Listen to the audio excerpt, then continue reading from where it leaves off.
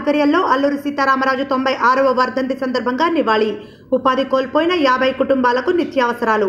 కాకినాడ మే ఏడు స్వాతంత్ర సమర యోధుడు మన్య విప్లవ వీరుడు యువ కిశోరం అల్లూరి సీతారామరాజు తొంభై ఆరవ వర్ధంతి సందర్భంగా సిఐటియు ఆధ్వర్యంలో ఘనంగా నివాళులర్పించారు. గురువారం ఉదయం స్థానిక సిఐటియు జిల్లా కార్యాలయంలో అల్లూరి సీతారామరాజు చిత్రపటానికి సిఐటియు అఖిల భారత ఉపాధ్యక్షురాలు జి బేబీరాణి జిల్లా అధ్యక్షురాలు ఎం వీరలక్ష్మిలు పూలమాల వేసి జోహార్లర్పించారు. ఈ సందర్భంగా బేబీరాణి మాట్లాడుతూ అల్లూరి సీతారామరాజు ఇరవై ఏడేళ్ళ వయసులో బ్రిటిష్ సామ్రాజ్యవాదులచే కాల్చివేయబడ్డారని పేర్కొన్నారు. మూడు సంవత్సరాల పాటు బ్రిటిష్ పరిపాలకులకు కంటి మీద కునుకు లేకుండా గడగడలాడించిన రంభ పితూరి అల్లూరి సారథ్యంలో నడిచిందన్నారు.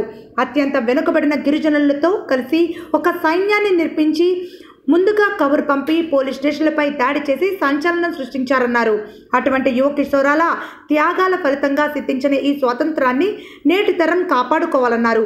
సిఐటియు నగర అధ్యక్షులు పల్లివెల వీరబాబు మాట్లాడుతూ పద్దెనిమిది వందల తొంభై ఏడు జూలై నాలుగున విశాఖ జిల్లా పాండ్రకిలో జన్మించిన అల్లూరి కాకినాడ రాజమహేంద్రవరం నర్సాపురం తదితర ప్రాంతాల్లో విద్యను అభ్యసించారన్నారు.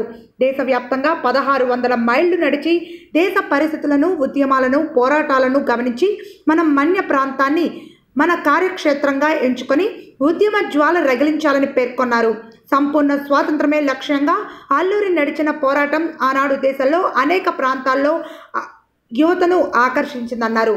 నాడు బ్రిటిష్ సామ్రాజ్యవాదం ప్రత్యక్షంగా మన దేశాన్ని దోపిడీ చేస్తే నేడు అమెరికన్ సామ్రాజ్యవాదం పరోక్షంగా మన దేశంపై పెత్తనం సాగిస్తోందన్నారు.